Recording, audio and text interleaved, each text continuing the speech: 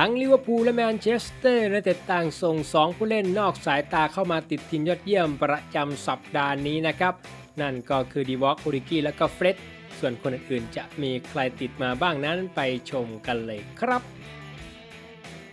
ขอต้อนรับทุกท่านเข้าสู่คนคอบอลนะครับ คลิปนี้พามาชม 11 ผู้เล่นยอดเยี่ยมประจำสัปดาห์ของศึกพรีเมียร์ลีกอังกฤษนัดที่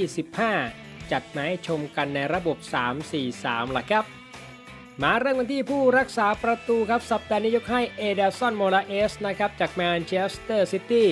เอแดร์สันเป็นนายด่านที่ใช้เท้าได้ดีมากๆครับโดยเฉพาะอย่างยิ่งบริเวณหน้าปากประตูของตัวเอง แต่น่าเสียดายที่เกมนี้เจ้าตัวไม่สามารถเก็บ clean sheet ได้นะครับ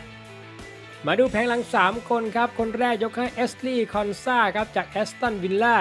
เหมาสองประตูพาสิงห์ผยองพลิกเอาชนะเลสเตอร์ซิตี้แม้ประตูแรกจะเกิดขึ้นจากความไม่ตั้งใจ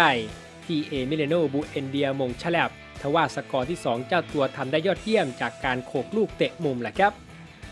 คนถัดมายกให้ดาวินสันซานเชสนะครับจากท็อตแนมฮอตสเปอร์พลิกฟอร์มการเล่นจากหลังมือเป็นหน้ามือเลยนะครับ หลังจากก่อนหน้านี้ในศึกยูฟาคอนเฟอเรนซ์ลีกที่ซานเชสทำผลงานออกทะเล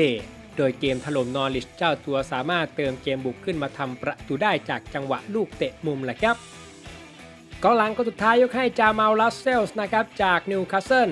กัปตันทีมสาริกาดงมีส่วนสำคัญที่พาต้นสังกัดเก็บ clean sheet เป็นเกมแรกของซีซั่นและที่สำคัญที่สุดคือการประเดิมคว้าชัยบนศึกพรีเร์ลีกอังกฤษได้เสียทีแหละครับ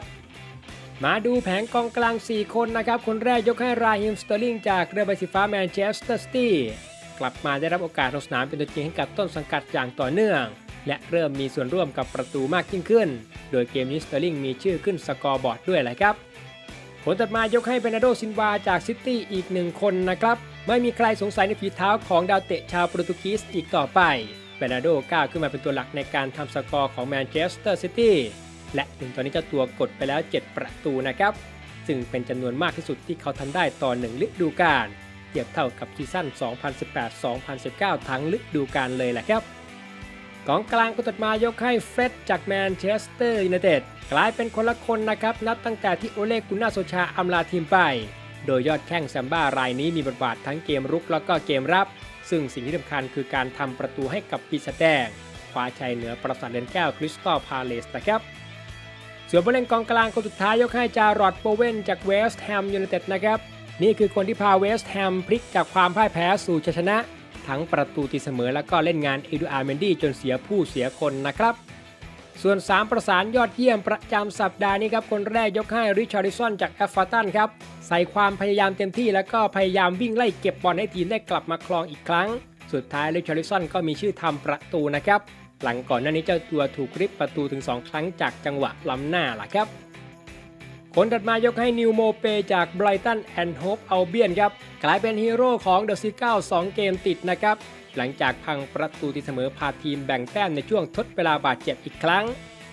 ส่วนผู้เล่นยอดเยี่ยมประจำสัปดาห์นี้คนสุดท้ายครับดิว็อกโอริกีจากหงส์แดงลิเวอร์พูลลงมาในฐานะตัวสำรองแล้วก็สวมบทบาท super sub ครับ พาลิเวอร์พูลคว้าชัยชนะออกจากโมลินิวซ์ในช่วงทดเวลาบาดเจ็บ เหมาะสมทุกประการที่โอริจีจะอยู่ในทีมยอดเยี่ยมประจำสัปดาห์ที่ 15 นี้แหละครับ